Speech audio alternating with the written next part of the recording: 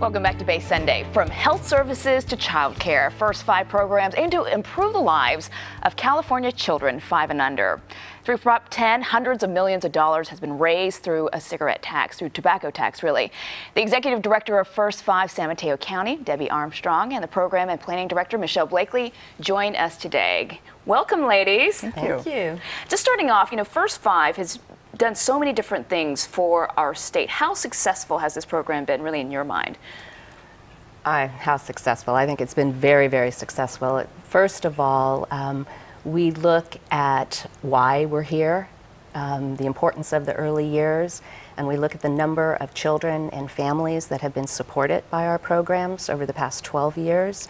Um, and there are numerous projects such as uh, Children Now um, in San Mateo County all children under the age of five have health insurance. They have access to health insurance, and we know that that is important for a children's success in later life. And just for people who may not be familiar with some of your programs, you want to go over just a few just so people understand what First Five is about, Michelle?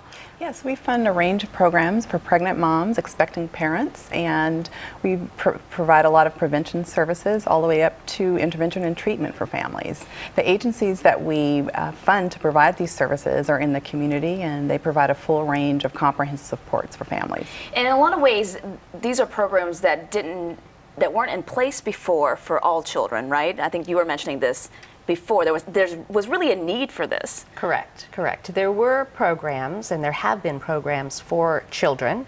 Uh, but this is the first time that there were public dollars, tobacco tax dollars, as Michelle said, that are targeted for all children uh, prenatal to age five. And that is, it's a statewide initiative, so each county has local autonomy over those dollars.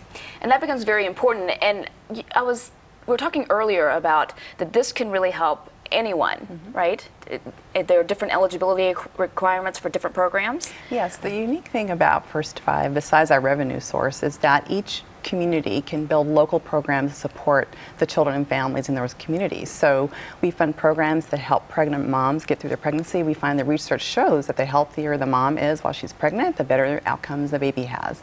And we fund programs to support kids to get them ready for school. We know if kids are reading early and, and have healthy attachments when they're young, that they do better as adults. So um, we know that every dollar invested now saves about $17 in the economy later. So we really? want to give the message absolutely. And for every dollar, for every dollar invested, save 17 later on. The research shows you can mm -hmm. save $17 later on. And if you look at any of the research in science and economics, child development, neuroscience, it all says that early intervention is better. And so we're just here to fund programs and advocate and build a message that we need to invest early for our young citizens. So we're talking about not only healthcare, but also kind of social skills and just feeling like they have a place that they're safe, right? And this really carries on later in Absolutely. life. Absolutely, absolutely. That's the foundation. Um, children feeling secure in their environment, trusting, having those loving relationships with their parents or caregivers, those are critical that that sure, carries yeah, on throughout so critical. their life. Very, very and I'm sure so. for a lot of moms, maybe when they have their, especially their first kids, or maybe they're not ready, so this probably gets them over the bridge, right? Bridges mm -hmm. them maybe mm -hmm. as mm-hmm. they prepare for the rest of their life. Mm -hmm. Exactly, because there's manuals for all types of things, for televisions, VC, uh, you know, DVDs, everything, but not to be a parent and it's just it's difficult. I remember being a young parent uh, and have you know, and now I have adult children and, and grandchildren, and I see how things are now, and I mm-hmm. wish that I had resources like this available. Now you brought some props in. I'll try not to drop them. Okay, this is a kit for new parents that you guys have. So what's in this? Is this is something that you provide in your program? First Five does provide this throughout the state of California. In San Mateo County, we have customized this. Um, it has a, um, a book for children, for toddlers. It also has a manual for parents, um, information and resources for parents uh, a DVD that helps uh, parents and caregivers as well, that walks through walks you through the stages of development for children.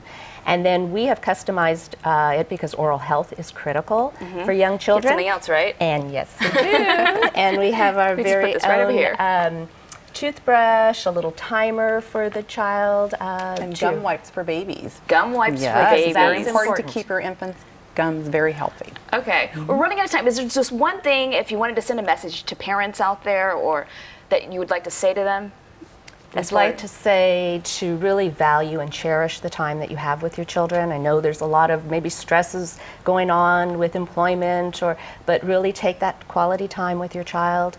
Um, for businesses, I'd like to say to be involved, to, to know, uh, to, to promote family friendly businesses, and to contact your legislators because we're talking about tobacco tax funding that we know is going to decline over the years, and so we need to continue to advocate for young children. We need more money. Yes. Anything you'd like to add, Michelle? I think that says it all. Invest early, it saves us all in the long run. Thank you. All right, Debbie and Michelle, thank you so much for joining us Thank today you. and bringing Thank your you. props. Uh, Okay. if you'd like more information, you can log on to their website. First, the number five, sanmateo.org, and you can get all the information about their programs and how you can get involved as well. All right, we'll be back with more Bay Sunday.